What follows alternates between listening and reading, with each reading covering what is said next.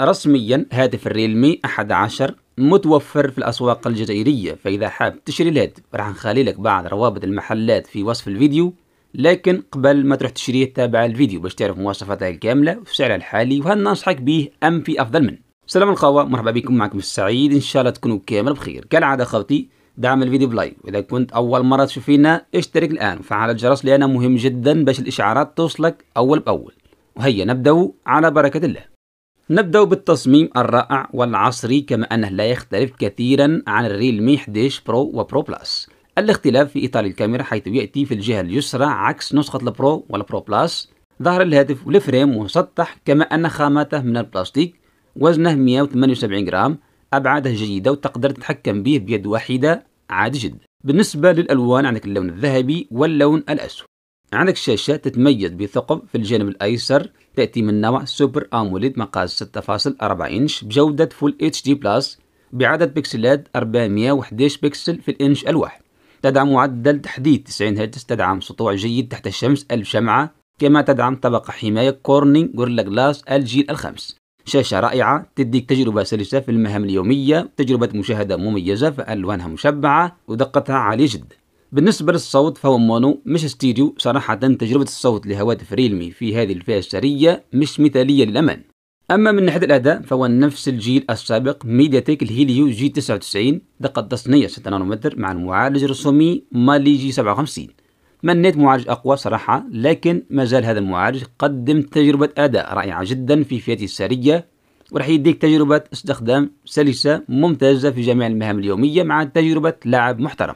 أما الخيارات اللي توفر بها الهاتف عندك 128 أو 256 جيجا ذاكرة تخزين مع 8 جيجا RAM. يعمل بنظام الأندرويد 13 وواجهة ال Realme UI 4.0 نأتي الآن لمنظومة الكاميرا. عندك الرئيسية 108 ميجا بكسل والثانية 2 ميجا بكسل للعزل. صور فيديو Full HD 30 إطار. عندك عدسة أمامية 16 ميجا بكسل صور فيديو Full HD 30 إطار. تجربة العدسات تعتبر جيدة صراحة وأفضل من الجيل السابق فالصور بألوان مشبعة مع تفاصيل محترمة حتى التصوير الليلي يعتبر جيد جدا في أغلب الظروف لكن في حدة مبالغة فيها نوعا ما. عندك أيضا جودة الفيديو تعتبر من مقبولة إلى ممتاز. رأيي الشخصي في الكاميرات محترمة لكن لا ترتقي للكاميرات الممتاز. الهاتف مزود ببطارية 5000 ملي أمبير مرفقة بشاحن 67 واط بطارية كبيرة قدرة شحن ممتازة مقارنة بسعره للأمانة تعتبر ميزة رائعة في الهاتف باقي العتاد عندك بصمة مدمجة مع زر الطاقة عندك شريحتي اتصال وكارت ذاكرة خارجي عندك خاصية ال NFC وعندك مستشعر تقارب حقيقي كما أنه يدعم منفذ السماعات 3.5 مل صراحة الهاتف ممتاز من ناحية المواصفات أما السعر فهو 4 ملايين و290 ألف وهذا السعر المحلات الجزائرية يمكن يكون أكثر ويمكن أقل. سعره في متجر الشركة في علي اكسبريس هو 213 أورو وهو نفس سعر السوق. للأمانة مميزات الهاتف قوية فهو يملك تصميم رائع يملك شاشة ممتازة يملك معالج قوي كاميرات أفضل من الجيل السابق بطارية كبيرة قدرة شحن ممتازة يبقى الصوت أعتقد مش راح يديك تجربة ممتازة كما أن في أفضل منه في فئة السرية خصوصا من ناحية الصوت.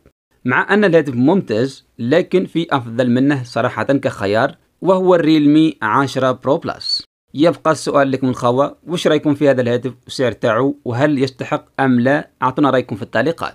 كان هذا كل ما لدينا حول هاتف ال Realme 11 في الأخير. like للفيديو.